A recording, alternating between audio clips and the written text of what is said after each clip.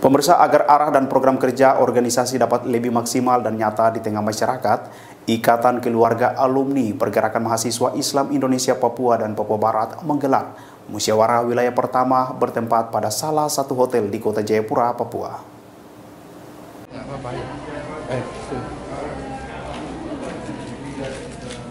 Ikatan Keluarga Alumni Pergerakan Mahasiswa Islam Indonesia IKPMII Papua dan Papua Barat menggelar musyawarah wilayah pertama bertempat pada salah satu hotel di kota Jayapura, Papua. Musyawarah wilayah Muswil pertama IKPMII Papua Papua Barat bertema konsolidasi gerakan menata organisasi membangun negeri dibuka secara resmi oleh Ketua Umum Haji Ahmad Mukawam. Penyelenggaraan musyawarah ini bertujuan untuk menjawab sejumlah kebutuhan, terutama sumber daya manusia, dalam tubuh organisasi IKPMI sendiri dan masyarakat di Papua, Papua Barat.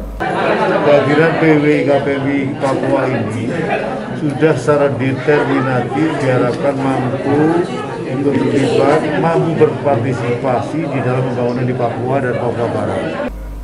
Mengutip pernyataan Lukas NMB, juru bicara Gubernur Papua mengatakan masih membutuhkan banyak agen dalam melaksanakan roda pembangunan di tanah Papua. PMI bersama seluruh kader PMI menjadi relawan daripada eh, apa, eh, bidang SDM dari PON Papua itu sendiri. Karena PMI tersebar di beberapa apa, perguruan tinggi dan semuanya menjadi relawan eh, bagi pelaksanaan PON. Yang kedua bahwa eh, teman-teman eh, ini memberikan ruangannya di asrama-asrama mahasiswa eh, YN untuk digunakan oleh atlet yang datang ke Papua sehingga eh, pemenuhan eh, akomodasi itu dirasakan. Musyawarah wilayah pertama IKPMI Provinsi Papua merupakan wadah bagi alumni mahasiswa yang pernah menjadi bagian pada sejumlah organisasi Islam kini dapat bergabung dalam tubuh Ikatan Keluarga Alumni Pergerakan Mahasiswa Islam Indonesia. Mereka yang sudah tidak aktif lagi sebagai mahasiswa biasa itu tergabung dalam alumni Ikatan Alumni Pergerakan Mahasiswa Islam Indonesia. Itu terstruktur mulai dari pusat sampai daerah. Untuk di tingkat provinsi itu strukturnya namanya pengurus wilayah, untuk cabang namanya pengurus cabang. Jadi organisasi ini melaksanakan kegiatan musyawarah wilayah untuk membentuk kepengurusan, kepengurusan selama dalam periode lima tahun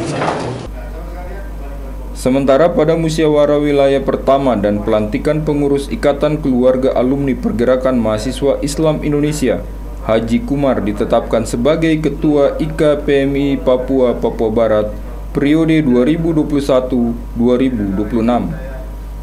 Dalam memimpin organisasi ini, Haji Kumar akan didampingi Sekretaris Jenderal Ahmad Muhazir dan Bendara Umum Purnomo.